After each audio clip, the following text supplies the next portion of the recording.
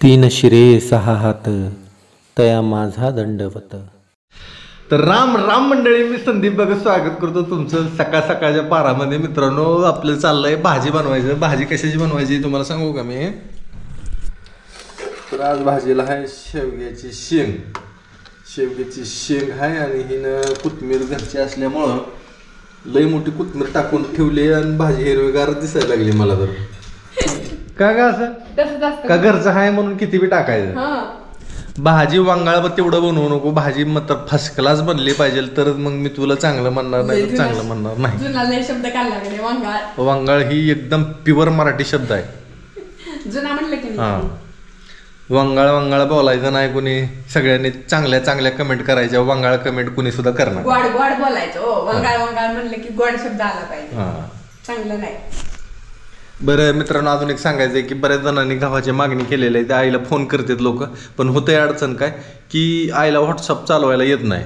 तर आईचा ती जी नंबर दिलेला आहे मी ती व्हॉट्सअप नंबर पण आहे. त्याच्यावर ज्यांना ज्यांना गहू पाहिजे त्यांनी त्यांनी अजून एकदा मेसेज करा. मग म- ते मी मेसेज बघतो मी स्वतः जाऊन आणि त्यांना रिप्लाय देतो. तर तुम्ही अजून एकदा मेसेज करा. आता आज मी चाललो आहे कुर्डवाडीला. वजन काटा आणायला. वजन काटा लागणार आहे. दहा दहा वीस वीस किलो कुणाकुणाची पन्नास पन्नास किलोची ऑर्डर आहे. तर त्यांना सगळ्यांना पाठवला दिला जाईल. एस टी कुरिअर करणार आहे मी. म्हणजे एस टीने पाठवून देणार तुम्हाला ते सोडून घ्यायचं आहे तेवढं. भाजी चालू आहे. उकळायला. भाकरी तयार आहे त्या. आणि भाकरी आपली भाजी झाली की आपण जेवण करून घेऊ आणि जाऊ वाडीला. इथं भाकरी. नाही लोणचं नको मला. तर नाही नाही. ते ठेवायला नको काय नको. त्याला दे. आम्ही जेवायला बसलो आता. सगळ्यांनी जेवायला या. माझ्या तोंडाला पाणी सुटलं. शेवग्याची शेंग भाकरी सगळ्यांनी जेवायला या मित्रांनो. आता जेवण करू मस्तपैकी. आणि पुढं वाट चालायला लागू. चला भाजी कशी झाली ती सगळ्यांनी सांगा. तिखट. मला तर नाही लागली बाबा तिकडे झाली. बाई कशी झाली? मला आवडली. तुला नाही आवडली? तू उठून चपाट कर उठ उठ ठेवत असत ते. काय हा? त्याला तेवढंच पाहिजे असतं. मग चला वाढेल चला काही तर चाला दादा. आणि नेमकं फ्लावरची भाजी गोबीची भाजी जर केली ना मग तर ती कुठनं तरी भांडणच काढतं आणि पटकन निघून जातं. असंच की. शेणपणात आवडत नाही त्याला. मग आपण एक काम करू. त्याची त्यांना सगळं जवळ सगळं म्हणजे एक दिवस असा येईल की त्याला काहीच आवडणार नाही. त्या टायमाला मग त्याला म्हणायचं तू आपलं बाहेर जा आणि गायीबरोबर आपलं रा रानात जाऊन चरायला चालू कर आपलं गव्हात गव्हात खायला चालू कर. आहे का नाही? पेरूच्या झाडाची फळं खायची चिकू झाडाची फळं खायची. आणि घरात यायचंच नाही तर झोपायला यायचं. ती रातचं भ्या वाटतं भूताचं लय त्याच्यामुळं बाहेर झोपायला जमणार नाही. होय? काय लेकरच नाही वाटतं खेड्याकडे माहिती का. लहानपणी खोड्या करायला हे भूता बाबा येतोय. भुत्या बाबांनी तर बाबा. भुत्या बाबांनी तर लय घाबरवलं होतं आमच्या शेतीला बारक्यामध्ये हा तेव्हा ती भूत भूत. आणि बारकं होतं का नाही? जेवायला दरवाजाच्या कडेला कधी बसत नव्हतं. मला मला इकडं बघलेलं सरायचं आणि माझ्या आडमोडीवर येऊन बसायचं. पत्र्याच्या शेडमध्ये. कोणीतरी आलं म्हणजे भूत्या बाबा आला पटकन धरून नेऊन गेल्यावर दादाला होणार मी राहते लगेच. म्हणून आधी अहो ते नुकताच उभा राहून चालायला लागला होता नुकताच. हा. तेवढा होता अजून एक वर्षाचा सुद्धा झाला नव्हता. आणि बाई मी अशी स्वयंपाक करत होती. दरवाजापाशी बा- इकडे बाई बसली होती आणि दरवाजापाशी बापू बसला होता. हा. शेडमध्ये आणि तुम्ही रात्रीचा दिवस मावताना घरी नव्हता. हा. मग केलं की मी ह्यांना आधी वाढलं. हा. वाटलं की असं दरवाजाकडे बघितलं. मी बघितलं ना आधी कुत्र भुकलो म्हणून बाहेर दरवाजाच्या सांगीतनं बघितलं स्वयंपाक करता करता. हा हा हा. त्याला वाटलं बुद्या बाबा आला काय किती? एक खंड उठला. पलीकडे बसला मग त्यांनी उद्या आली बाईला. मी सुचिताला नेऊ दे का आधी? म्हणलं का तसं म्हणला. मला तर. इतकं सुद्धा ते आठवलं गेले हसू येत हा. येऊ दे आता बाईला. ए तुम्हाला काय काय आणायचं ते व्हॉट्सअपला व्हॉट्सअप करून ठेवा रे. माझ्या ध्यानात राहत नाही. पिशव्या. बाप पिशव्यान. पिशव्यान पिशव्यान. जा जा जा. जा लवकर पळत. बरं चालतं चला.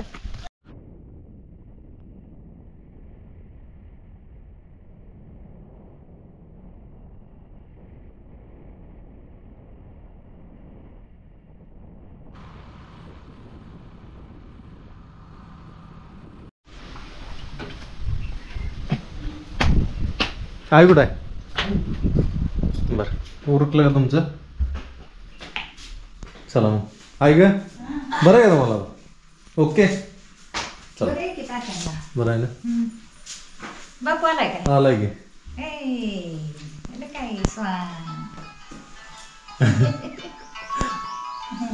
चला. घ्यायला तू. येते की? चल. मिळत ही बघायचं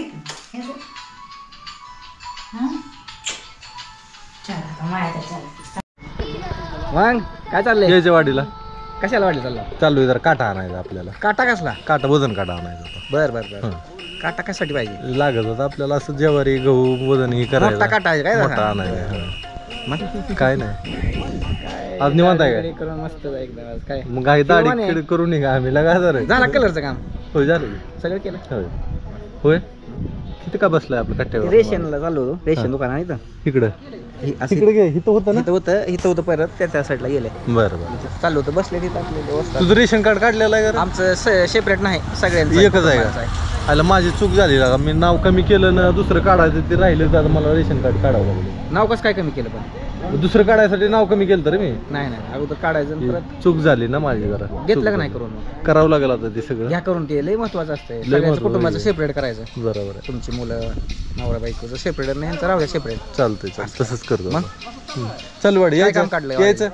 वाढलं नाही यायचं. बरं. हां आज काय? चाल बारदाना घेऊ आता आपल्याला. बारदाना पाहिजे.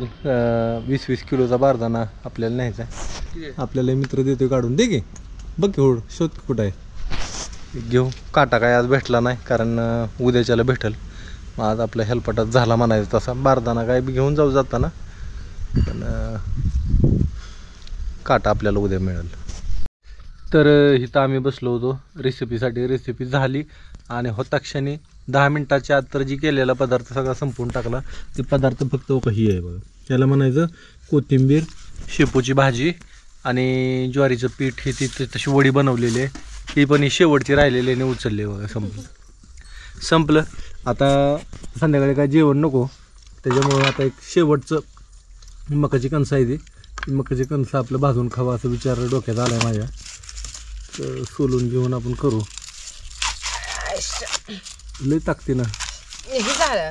सगळं एकदम धरलं ना मी. हां. चांगली आहे मका गाय. आणायच्या त्या आपल्याला. गट्टूने तिकडे आळू का पिळू का दिला. गट्टू! गट्टू! गुड बॉय आणायला डॉन तिकडे गट्टूचं बसलाय पण बघा पीठ. दिसतोय का तुम्हाला? चिक्कूच्या झाडाखाली खाटाच्या खाली. ती दिसणार बी नाही. खड्डा केलाय हो तिथं. बसायला. त्यांना बसू वाटतं ना. उकरून.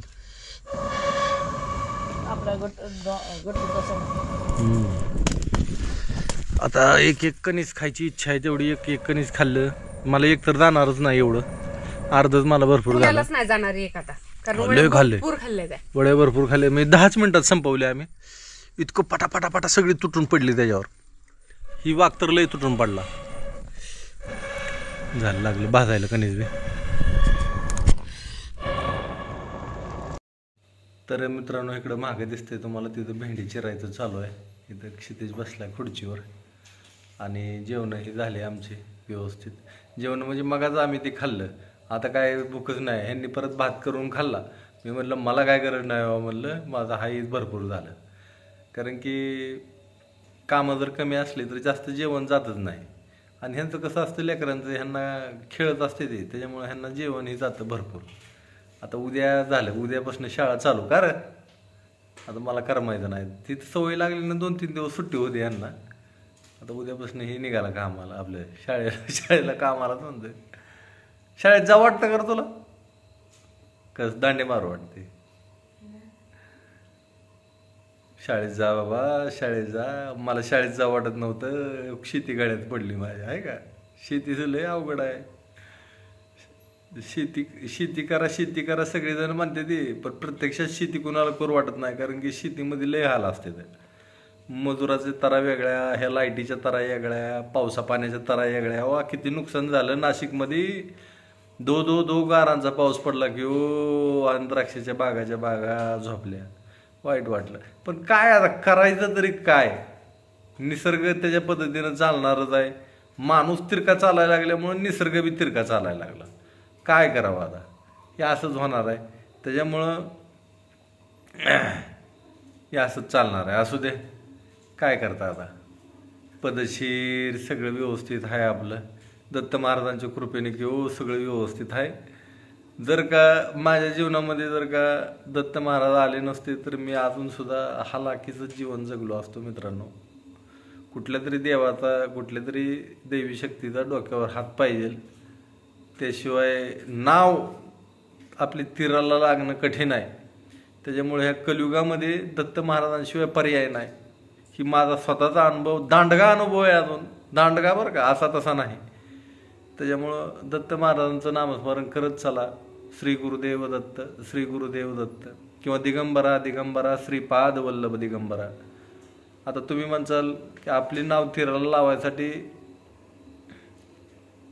दत्त महाराजांचं नामस्मरण करणं ही स्वार्थीपणाचं स्वा स्वार्थीपणा झाला. बरोबर आहे. ही दुनियाच व्यावहारिक आहे. त्याच्यामुळं नामस्मरण करा. नामस्मरणाशिवाय पर्याय नाही. भक्तीशिवाय पर्याय नाही. आणि भक्तीमध्ये भक्तीची पहिली पायरी पायरी आहे तीव्र व्याकुळता. कळतंय का तुला? काय का डोक्यावरून जातंय सगळं? काय दादा बडबड करतोय? काय आम्हाला गरज नाही? दादा आणून देतोय आम्हाला. पण त्यांना काय म्हणजे दत्त महाराजांचं काही नाही ना पडलं. बाप हाय बाप आणतोय सगळा करतोय बघतोय. त्याच्यामुळं त्यांच्यासाठी मेन म्हणजे बाप आहे. पण बापासाठी मेन आहे दत्त महाराज. कारण की काय अडचणी येते आणि त्या अडचणीतनं कसं वाट काढायची ही फक्त आमची आम्हालाच माहिती. तिथं चालू आहे तिकडं. ती काय बोला नाही बी काय करा नाही बी तिच्या मनात काय विचार आहे का काय? होय का? काय नाही? काय चाललं थांब. अरे बस. त्याला त्याला आलं टेन्शन बाप लागला बडबड बडबड करायला. गेला उठून. तर मित्रांनो आजचा व्हिडिओ आपण इथंच थांबू परत अजून उद्या भेटू. तोपर्यंत सगळ्यांना जय गुरुदेव. दत्ता